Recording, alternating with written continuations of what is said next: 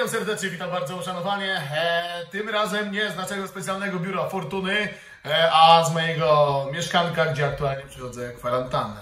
Już końcówka, więc spokojnie. Jutro będzie info. COVID pokonany.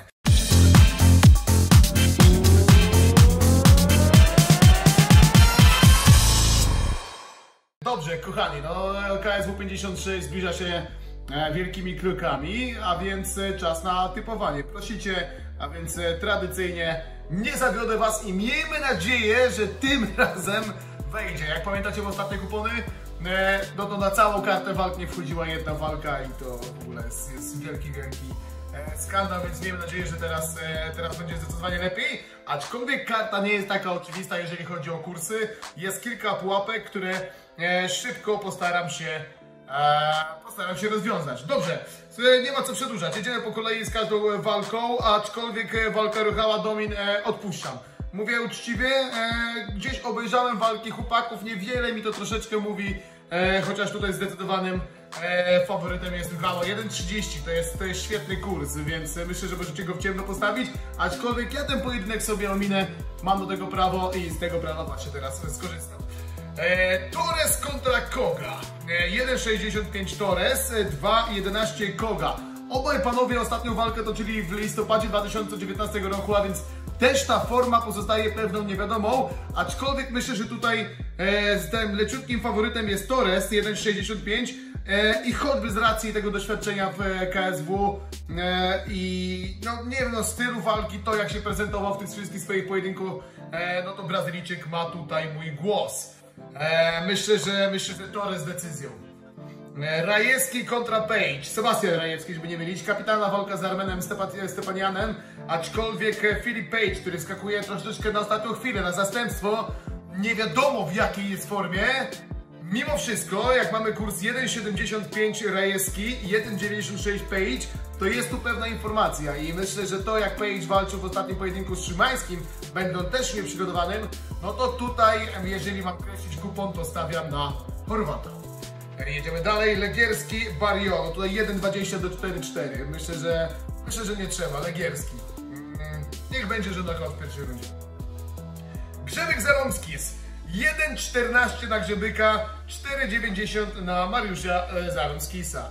To też chyba mówi absolutnie wszystko. Litwin swój prime ma już dawno za sobą e, i nie wygrał z nikim sensownym od wielu, wielu lat. E, niesiony na fali zwycięstw Andrzej Grzebyk. Myślę, że pozamiata Zarąckisem już w pierwszej rundzie. Także tutaj też nie ma żadnych e, niespodzianek.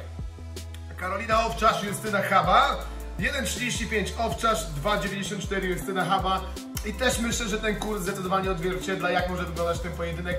E, nie sądzę, żeby Karolina skończyła Justynę e, przed czasem, e, ale będzie to trzyrundowe zwycięstwo na punkty. I myślę, że każda runda może pójdzie tutaj na korzyść reprezentantki Shark Top Team Łódź. No dobrze, Tomasz Narkun i Erslan. Iwan Erslan. Słuchajcie, 1,20 Narkun, 4,4 Erslan. Ale myślę, że o, to jest dobry moment, abyśmy teraz posłuchali e, typowania gościa, który akurat w kategorii 93 kg wie wszystko. E, Mój typ na walkę Tomka Narkuna z Erslanem jest taki, że, że Erslan nie ogarnie tej dziwnej, nieszablonowej stójki Tomka. Mm, Nie znajdzie tam luki, żeby, żeby, żeby tą, tą walkę w stójce zakończyć. Y, Tomek gdzieś tam obali to, y, to walkę przyniesie do, do parteru i tam będzie szukał swojego, swojej szansy poddania i, i, i znajdzie je, tak mi się wydaje, y, w drugiej rundzie. Więc Tomek przez poddanie, druga runda. Pozdro, hej. No to Janek zdecydowanie stawia na Tomka Narkuna i ja jak najbardziej oczywiście przychylam się tutaj na ten typ. Myślę, że Tomek, Tomek Narkun w parterze druga runda, także podpisuje się pod Janem Błachowiczem. No to teraz walka wieczoru, która zdecydowanie rozgrzewa najbardziej wszystkich. Michał Materla, Roberto Soldysz, który idzie do kategorii 84 kg.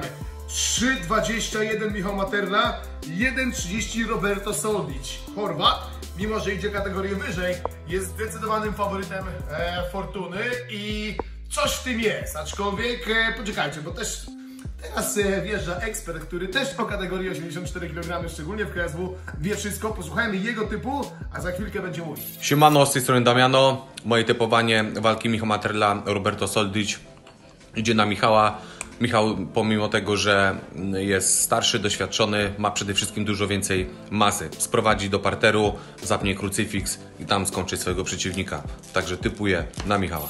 Damian stawia na Michała Materle i teraz może powiedzieć, że na pewno sercem i koleżeństwem, e, bo ten kurs 3.21 e, no to, no to jest kurs e, absolutnie wskazujący, wskazujący Michała na porażkę. To teraz powiem tak, mam dwa powody, aby twierdzić, że Michał Materla takim kursie może to wygrać i dać nam dużo radości potem przy wypłacie e, z kuponu.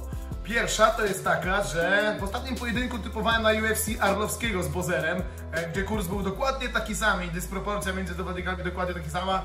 Arlowski wygrał to e, decyzją. Oczywiście można powiedzieć, że fart, że trafiłem. Nie.